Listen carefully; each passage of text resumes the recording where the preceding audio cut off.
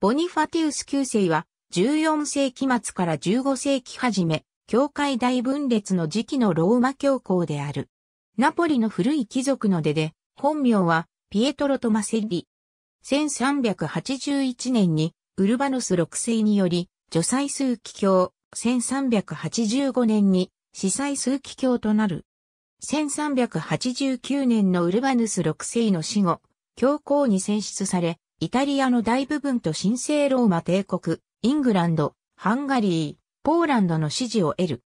しかしアビニョン対立教皇クレメンス7世は選出を認めず、ボニファティウス9世もクレメンス7世を破門したため、分裂が長期化、1394年にクレメンス7世が死去、後を継いだ対立教皇ベネディクトゥス13世との話し合いも拒否したため一層長引いた。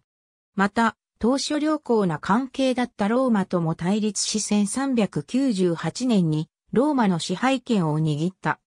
1400年にローマ王ベンツェルが選定校に入り、新たにループレヒトがローマ王に擁立された際、なかなかループレヒトを承認せず一時は、ループレヒトがローマ遠征を観光1403年になって承認した。背景にはベンツェルらルクセンブルク家の様子を伺っていたため、内紛を起こした段階で承認を与える気になっていたからだが、1401年にベンツェルの弟で、ハンガリー王ジギスムントへの貴族反乱につけ込んで、1401年と1403年の2度に、渡り、ラディズラーオ一世をハンガリー王に承認したため、ジギスムントが教皇のハンガリーからの資金供給や教会人事件を禁止、ハンガリーの支持を失った。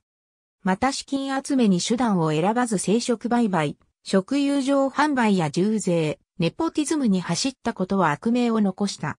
1404年10月1日に死去。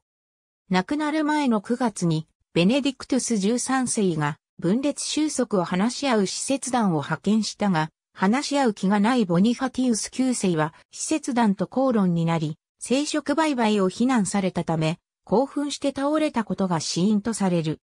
次の教皇はインノケンテウス7世が選出されたが、この教皇もベネディクトゥス13世の話し合いを無視、分裂はまだ続くことになる。AB 新カトリック大辞典編纂委員会 P688 スチュアート P180P181 バンソン P129P130 セハラ P216P217